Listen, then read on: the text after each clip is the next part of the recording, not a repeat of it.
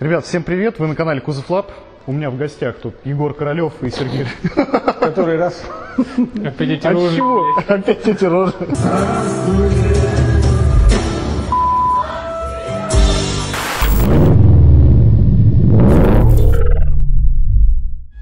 Друзья, всем привет! Спешу вас обрадовать.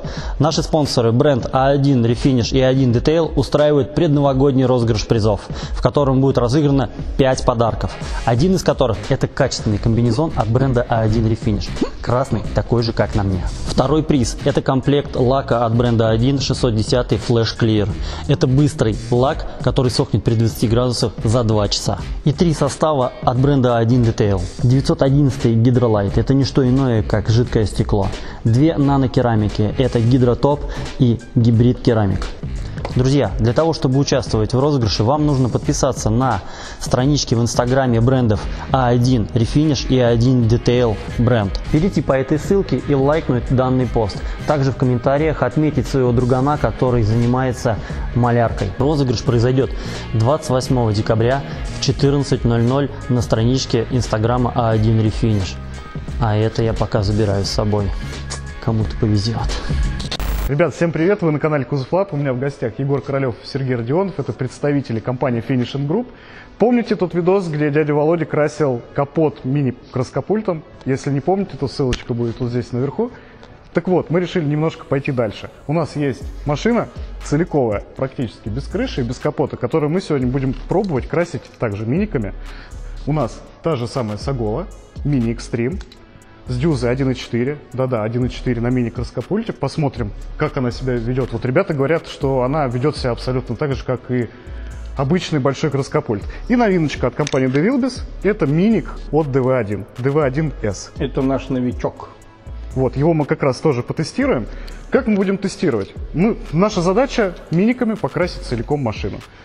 DeVilbis мы потестируем на базе, половину машины мы покрасим девилбисом, половину машины мы покрасим с аголой. А лаком мы уже вскроем полностью с аголой, так как здесь дюза 1.4, ну и все-таки нам, наверное, будет покомфортнее ей работать. Ребят, какие-то особенности у Девилбиса, расскажите, пожалуйста, что тут нового и в чем тут фишка? Ну, э, собственно, фишка э, точно такая же, как и в его старшем брате у большого полноразмерного пистолета DeVilbiss DV1, в том, что у него специальная конструкция дюзы и специальная конструкция воздушной головы, которая э, обеспечивает максимально равномерный факел, максимальный перенос, плотность. И, как следствие, оно по максимуму убирает от вас там такие проблемы, как яблочность, как бы очень равномерность, высокая равномерность. Да, это считается высокотехнологичный продукт. И завод DeVilbiss на сегодняшний день практически полностью переключился на выпуск этих краскораспылителей DV1 и как вот маленький вышел DV1S. На самом деле первый раз все заказали. Эти пистолеты маленькие, они примерно ну, недели три, как в России. То есть, ну, вот это прям новинка-новинка, да. которую мы будем сегодня тестировать. Но мы не стали тестировать, ну понятно, что берем мини-краскопульт, делаем им локалку, какие-то маленькие деталюшки красим. Мы решили сделать все наоборот. Мы решили покрасить по 4 детали. Да. Посмотрим, удобно ли миником красить целиковку. Да. Ну что, пробуем? Удобно ли вам миником красить целиковку, поскольку красить будет Паша сегодня? Но могу сказать так, в руке он просто изумительно сидит. Ну и прям ощущение такой дорогой вещи. Да? Прям. Да. Мне нравится. Как будто... Как женщину держишь, да? Женщину, хорошую женщину. Дорогую. Дорогую. Долларов 300. Дорогую. Космос, детка! Ну что, давайте посмотрим факел на малыше, на Девилбисе. Мне даже да. самому, самому интересно, что... А расстояние такое же, да? Не, не кулачок, не маленький кулачок. Нет. Не два кулачка. Не два пальца.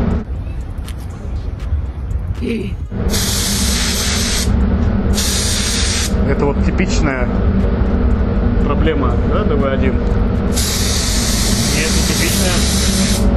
Просто проблема всех пистолетов подстройки факела под необходимую вязку.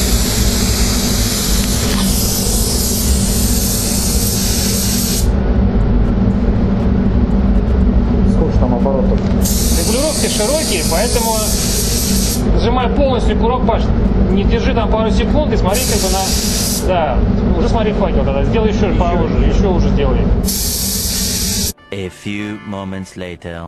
Величина факела у нас вот такая в итоге получилась. Обращайте, пожалуйста, внимание на вязкость материала и настройки краскопульта. Это очень важно. Сейчас Сергей еще контрольный сделают. Про- посмотри, у него пальцы какие длинные.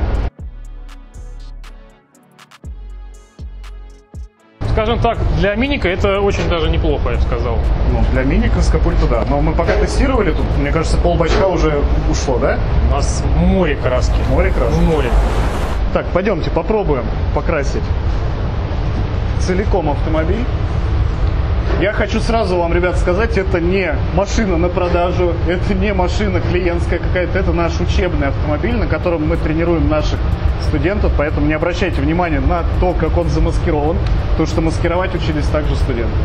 Ну что, давайте попробуем покрасить.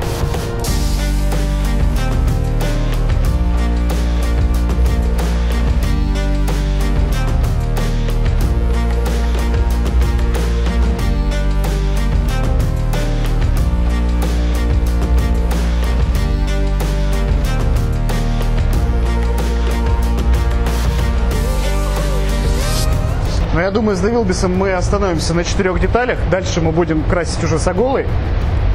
Что я могу сказать? Ну, видно, что он не так много материала переносит на поверхность, да, и надо понимать, что этот краскопульт у нас предназначен для небольших каких-то ремонтов, для локальных окрасов, но нет какого-то дискомфорта при работе с большим объемом деталей.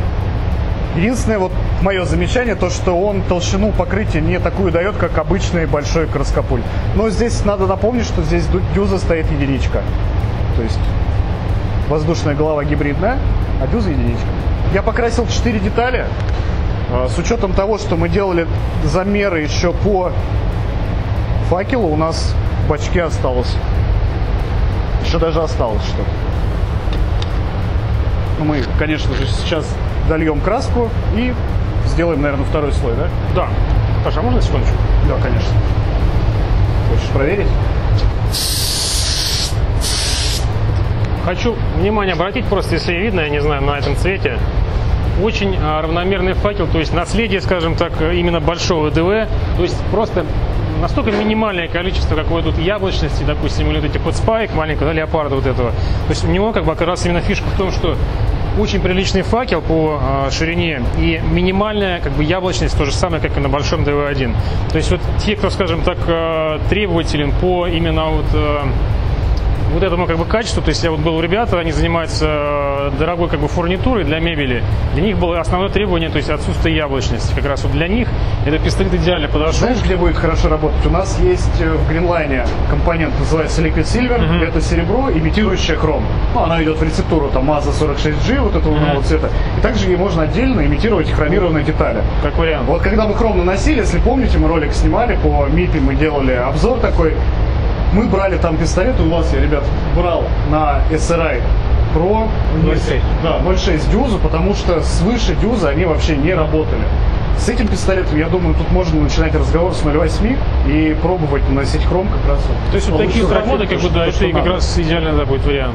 Еще хочу заметить, что этот пистолет сразу же идет в комплекте с двумя дюзами, 1.0 и 1.2. Очень удобно. Да? Да? Давайте дальнюю краску. Первый слой этот краскопульт нормально разложил, э, но первый слой мы не делаем стопроцентный. Сейчас мы будем наносить второй слой, как раз посмотрим, на что способен маленький краскопульт DeVille без нанесения стопроцентного полного слоя.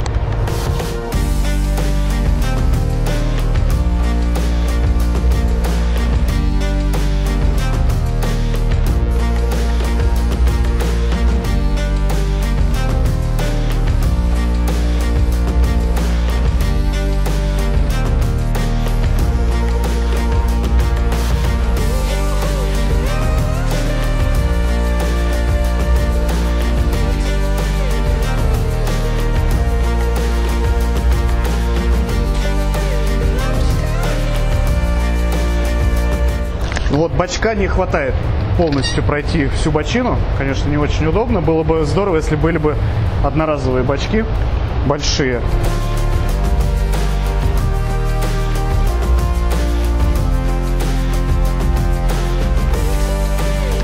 Но единственное, что могу сказать, это то, что у нас очень сильно упала скорость при внесении таким краскопультом, но это логично, потому что он все-таки маленький. Ну, кстати, я прям сказал, что не сильно прямо уж так оно упало. То есть, мне кажется, так со стороны, когда я смотрел, ты, ну, достаточно комфортно, в принципе, было.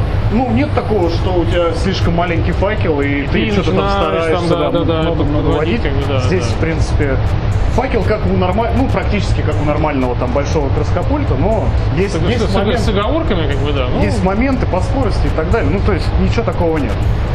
Ну, мне просто было интересно. Покрасить же можно? Можно, конечно. легко, причем, как бы, да, особо не напрягаясь. Особо не напрягаясь, да, я так сказать. Ну, допустим, деталь где-то в гараже покрасить легко. вообще идеально. И тут вообще можно без маски красить. От него вообще ничего не летит. Заметьте. Без маски, без перчатки не выходит. Только магазин, аптеку необходимо столько выходит.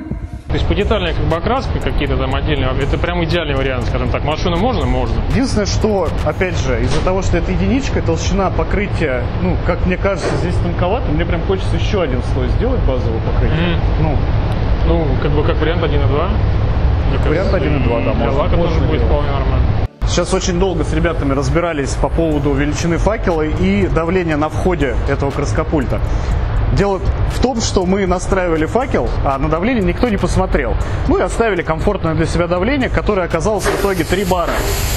На этом давлении очень комфортно красить много деталей. То есть, когда у тебя 4 детали, или там 2 детали, или одну деталь целиком надо покрасить. Но рабочее давление на входе должно быть 1,75 именно на этой воздушной голове. Поэтому есть такая рекомендация. Если вы работаете в плане спот-репейра, это точечный локальный ремонт, ставим давление 1,75 бара.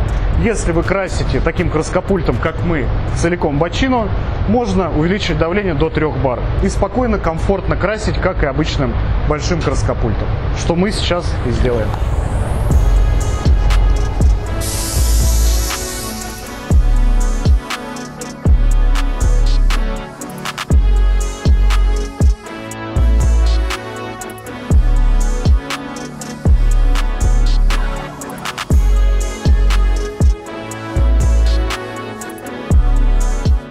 Нанесли стандартно базовое покрытие. Честно скажу, никакого дискомфорта абсолютно нет. Потратили мы два с половиной бачка, вот таких вот маленьких. Я считаю, что для бочины это очень хороший показатель, очень хороший результат по расходу краски. Ну и сам по себе краскопульт очень эргономичный, его приятно держать в руках, и он классно работает. Да, давай еще посмотрим, сколько краски у нас ушло.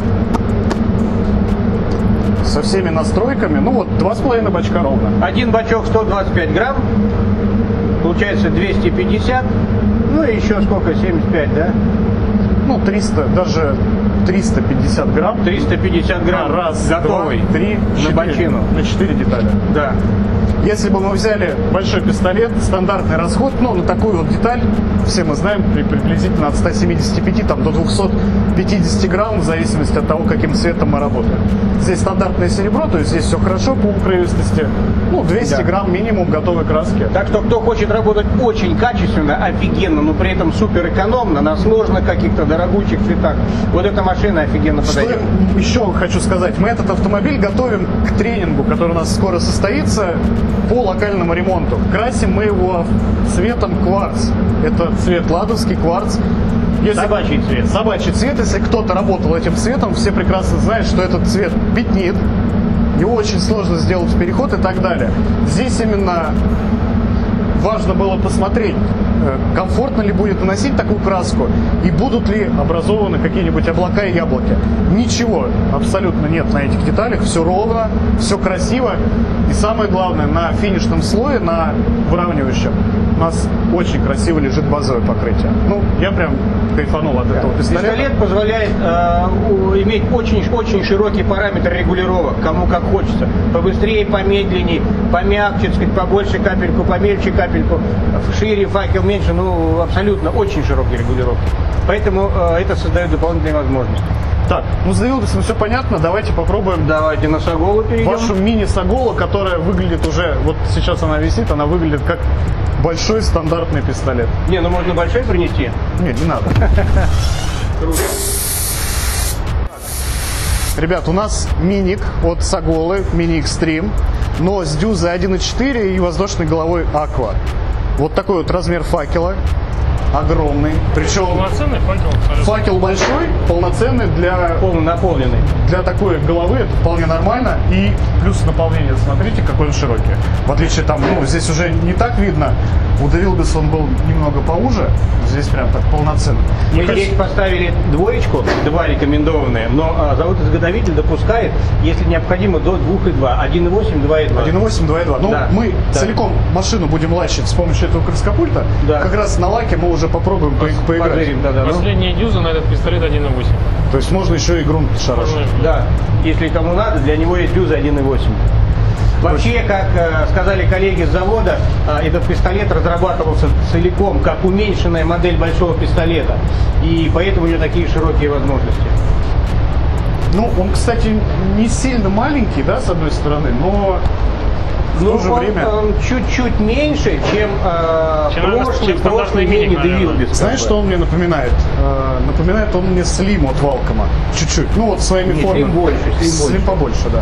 Ну, визуально. Что, давайте попробуем мини-экстрим, нанесение базового покрытия.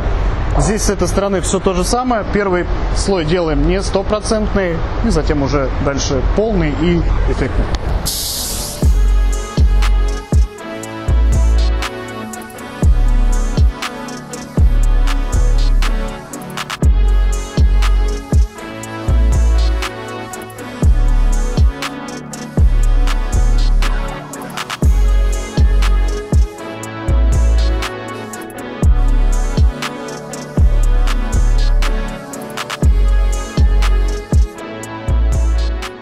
Никакой разницы от обычного большого краскопульта нет. Я им работаю как обычным пистолетом.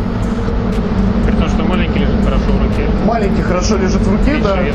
Меньше вес. Ну, здесь такой большой у нас бачок стоит, что Можно даже литровый поставить. можно да, литровый по сути. поставить на мини. На мини, да.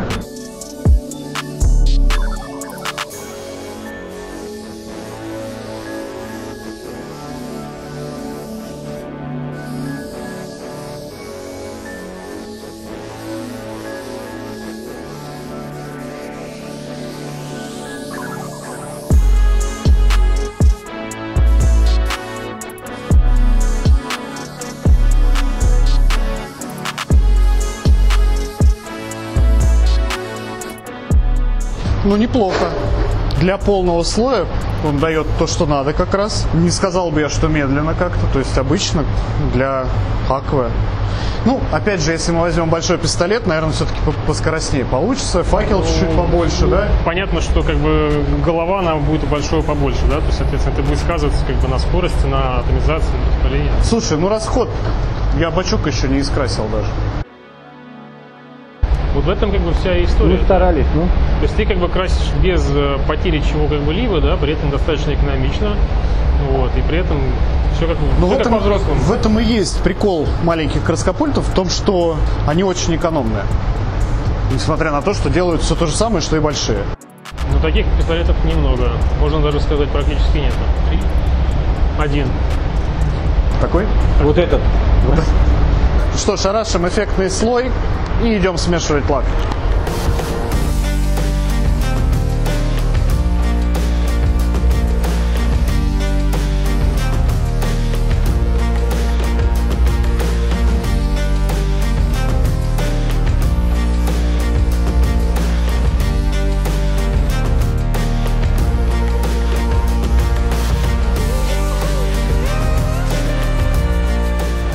В общем, на три слоя базы я даже бачка не угнал. Просто зная, что на эту машину на слой уходит бачок в круг пройти машину. То есть, ну, очень-очень экономно получается. То есть какой вывод? Мини-пистолетом с дюзой 1.4 и головой Apple можно красить? Можно красить, но я не знаю, можно ли и младше. Мы сейчас это Сейчас проверим. попробуем. Мы уже мини, конечно, не будем э, использовать как лаковый Да, пистолет, да. потому что это совсем уже будет неправильно. Но вот этот пистолет в такой комплектации, он очень будет интересен именно и по базе, и по лаку. Да. Пойдемте смешаем лак, пусть пока все посохнет. Ну что, мы приготовили лак. Взяли мы Solid Clear Top. Это стандартный двухслойный лак. Здесь никаких нам не надо излишек с полутораслойными лаками. Дюза, напомню, 1.4, воздушная голова мини Aqua. Это гибридная голова, ей можно работать как с базовым покрытием, так и с лаком. И сам по себе краскопульт это мини Extreme. Собственно, весь прикол в том, что это миник. Рекомендуемое давление от 1,8 до 2,2 бара. Мы здесь сейчас сделаем 2,2, посмотрим, как он будет работать на чуть-чуть повышенном давлении.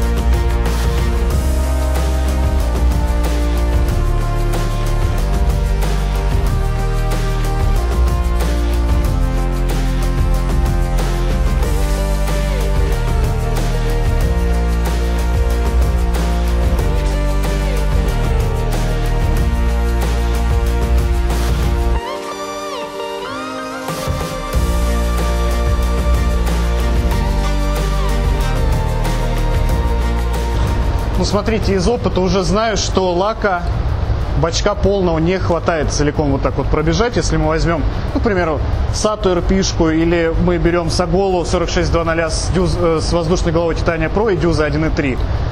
Вот обрывается приблизительно все на этой двери. Э, С этим краскопультом у нас прям тютелька в тютельку ушло, прям осталось, наверное, грамм 10. То есть, ну, это экономнее, чем на большом краскопульте. Делаем межслойку и наносим второй слой лака. Ну что, давайте наносить второй слой лака. Э, Я на втором слое все-таки приберу давление до двушки, даже 1,9 поставлю, потому что хочется налить немножко побольше лачку, потому что завтра эта машина пойдет нам на тренинг. До 1,9 как раз убрал.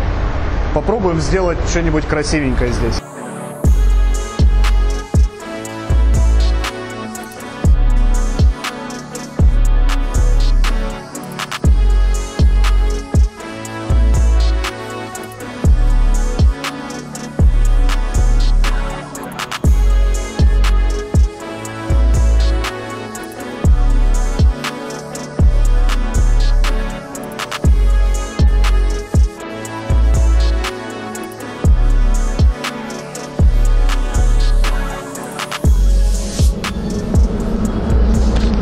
Сих пор так в отсечку переходы делаете? Если так же, то приходите к нам на тренинг по локальному ремонту. Мы научим вас, как правильно делать переходы и по базе, и по лаку.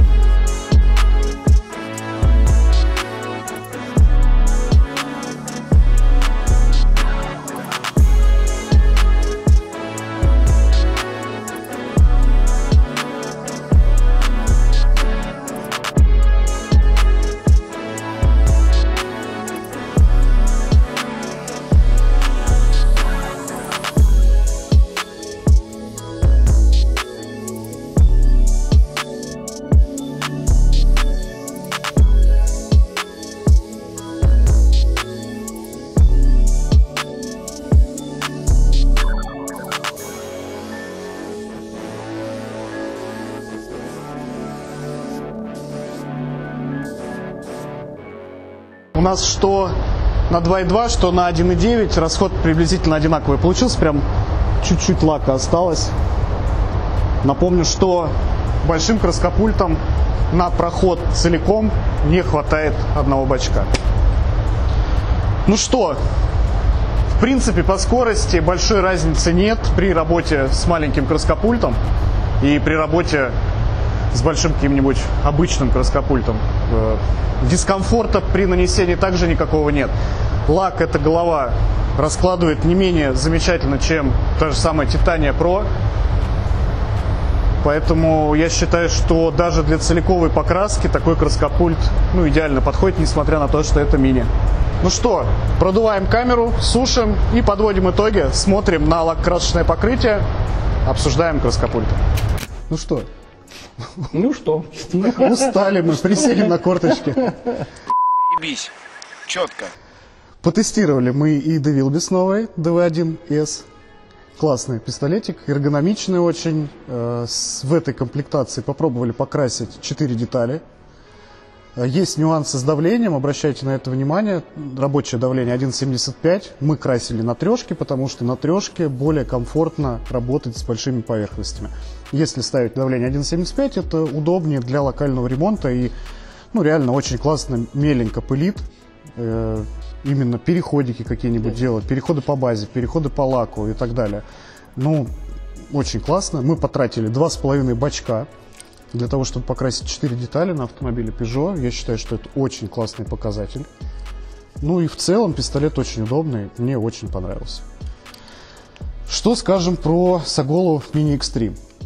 Вот видите, он сейчас таким с детским бачком, уже даже непривычно держать, это стандартная комплектация. Сюда же подходит бачок от Сагола 3320, сюда же можно навернуть переходник под PPS, то есть он универсальный. Можно взять даже большую PPS, у ребят в финишинге она тоже продается, сколько, 850 миллилитров Да. она, то есть большая. Пробовали мы им красить 5 деталей, именно базовым покрытием, и лаком мы накрыли целиковку, можно сказать, прошлись. В этой комплектации с дюза 1.4 работает как обычный большой краскопульт. То есть никаких у меня нареканий в плане работы по комфорту и так далее нет. Единственное, что хочу отметить, по сравнению, опять же, с большим краскопультом, я пробовал эту машину красить и сатой, RP-шкой, пятеркой. Красили мы также э, с Аголой 4620 Титания Pro. У нас воздушная голова была. Всегда уходило э, два с половиной бачка лака. Именно вот, вот именно сюда. В этот раз у нас ушло две PPS и даже чуть-чуть осталось. То есть по экономии этот пистолет гораздо интереснее. То есть по итогу у нас получается что? Можно его использовать в двух конфигурациях. Если люди хотят его использовать как обычный пистолет для локального ремонта, они выбирают себе дюзу единичку, э, выбирают голову Аква, она и для базы, и для лака будет, и тут можно вообще не париться. А если человек э, выбирает в гараже, что ему надо что-то как бы красить э, э, не часто, но э, что-то достаточно большое, там одна, две, три детали, то совершенно спокойно можно взять этот пистолет и хорошо, классно, премиум качеством покрасить детали. Чем интересно Сагола? Тем, что мы, имея там один краскопульт, можем подобрать сюда любую комплектацию, какая нас устроит, целиком и Как раз полностью. я хотел сказать, да, у него очень широкие возможности. То есть как и универсальный такой мини, э, мини-нормальный настоящий пистолет, да, то есть как вот мы сегодня делали 1.4 на все, лак на базу, как э, просто стандартный миник. Вот, так и можно сделать из него полноценный абсолютно большой пистолет, да, поставить 1.6, 1.8, то есть что угодно можно делать. Самое главное, потребление воздуха здесь 190. 190 литров в минуту. Для это можно брать даже маленький 50-литровый компрессор какой-нибудь. и Очень, очень широкие возможности, и как по спокойно настройкам, красить да, так и по не в ущерб там, давлению какому-то и, и расходу воздуха. То есть, если вы хотите себе реально премиальный пистолет в обычный гараж, этот пистолет просто вот отвечает всем требованиям. То есть это вам не какая-нибудь там SATA или тот же самый Девилбис, да, который жрет под, под, под 400 литров, Ну, который в гараже да. там не покрасишь. То есть вот это вот любительский такой, можно сказать, профессиональный пистолет и классный миник для выполнения локального Да. ремонта. Ну что, наговорили мы много. Я надеюсь, вы с удовольствием посмотрели этот ролик. Не забывайте также подписываться, ставить колокольчик, подписываться на ребят, финишинг групп, ссылочка будет. внизу. Сердечко, сердечко обязательно. Сердечки ставьте ребятам, нам ставьте перчатки вверх обязательно. Не забывайте также про наши соцсети, подписывайтесь. Там тоже много всего интересного, и контент немножко отличается от контента, который здесь есть на Ютубе. С вами были ребята из Finishing Group, Сергей Родионов, Егор Королев, ну и я, Павел Никифоров. До скорых Спасибо встреч. Паше, да, что он так все потестировал классно, что он независимо все классно сделал, что все, что было там, нюансы какие, все рассказал. Теперь будет без, без сомнения как бы легче нам предлагать эти пистолеты, чтобы люди понимали, что как бы есть разные точки зрения, а, и, и это поможет им сделать такие более объективные выводы, нужные мне, нужные это. Ну, как-то так. Выпьем, как тост сказал. Выпьем. Сейчас доедем и выпьем. Ну, за понимание. Всем пока.